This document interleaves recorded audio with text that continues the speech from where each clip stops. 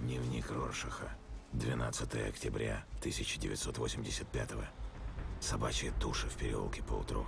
След шины на разорванном брюхе. Этот город боится меня.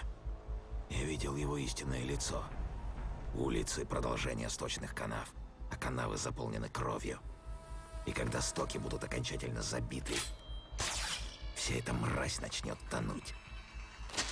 Скопившаяся грязь похоти и убийств вспенится им до пояса, все шлюхи и политиканы посмотрят наверх его запят. Спаси нас.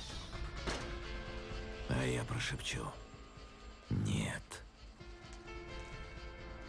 Теперь весь мир стоит на краю, глядя вниз в чертово пекло. Все эти либералы, интеллектуалы, сладкоголосые болтуны. И от чего-то вдруг никто не знает, что сказать. Подо мной этот ужасный город. Он вопит, как скотобойня, полная умственно отсталых детей. А ночь воняет блудом и нечистой совестью.